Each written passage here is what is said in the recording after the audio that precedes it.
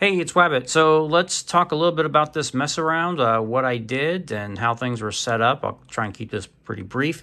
Clearly, the Polyend Play, iPad, and some friends, and really it was just sending MIDI from the Play to various apps. Now, initially, I started with just one app, Zeeon, and I had uh, these three tracks, and I just generated a random pattern with Play. Uh, and as I was messing around, I wanted to add uh, drums. So then I added the Slammer app and then I created this track down here. And then basically on the four on the floor steps, I just basically programmed each of these notes to correspond to the kick drum.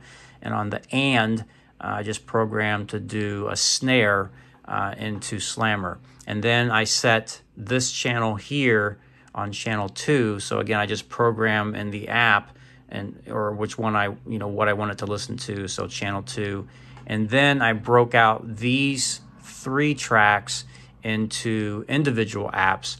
So the very first one went to Zeeon, uh, and then I had the second one going to Trooper, and the last one going to uh, GeoShred. And then to give it, so when you do a fill pattern on the MIDI side, whatever note is selected, it's going to fill that entire, all, all those steps will have that note and then when you hit play, it, it would be kind of boring. Not that what I was doing was exciting.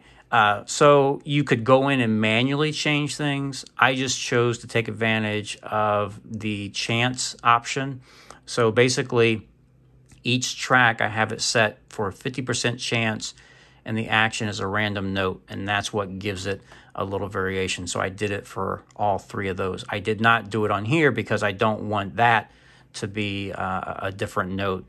And then the apps again, Zeeon's a synth app, Slammer is drum, Trooper synth, and GeoShred uh, is the guitar, and then this is all being done with inside of AUM. Uh, the connections to make all this work USB C cable coming out of the play.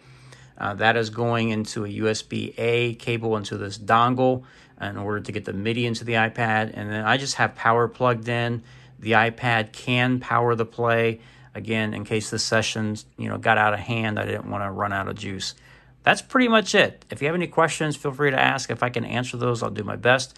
I thank you for watching. Please be kind to yourself. Get out there and have a lot of fun and just get started.